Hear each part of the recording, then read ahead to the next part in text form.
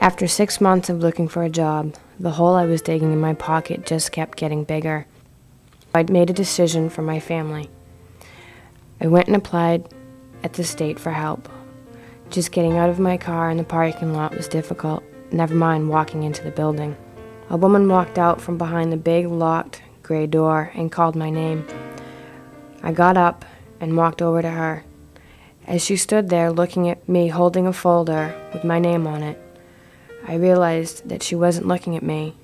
She was looking through me. The only me she saw was in her hand, that folder with my number on it. People I don't know see this number, along with the others. They just see what's put on paper and make decisions based on it. I don't usually have control over these decisions, but they always affect me in one way or another.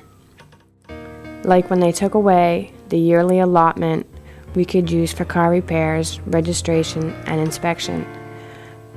I had to do without my car for four months because I couldn't afford the repairs to pass inspection. But I still had to complete all my required responsibilities even though I was 12 miles away from school. There are some decisions in our life that are made without our family being considered. They're made from Washington or state government or local government. And that's why I vote, so I have a say in who is making those decisions for me. I want to know that they see my face and the many faces of the others like me. Remember that feeling of being a number that doesn't count.